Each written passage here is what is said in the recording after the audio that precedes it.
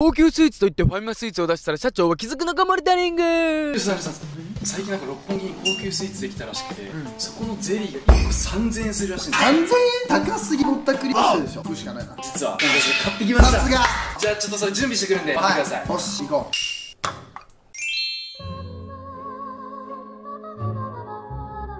田さんお待たせしました。これが高級ゼリーです。ういや確かに。まず見た目が高そうだし皿でもう3000円しそうだもん。殻付きってやばいっすよね。食べてみていい？はい。でかくね？でかいんですよ。やっぱ高いんで。いただきます。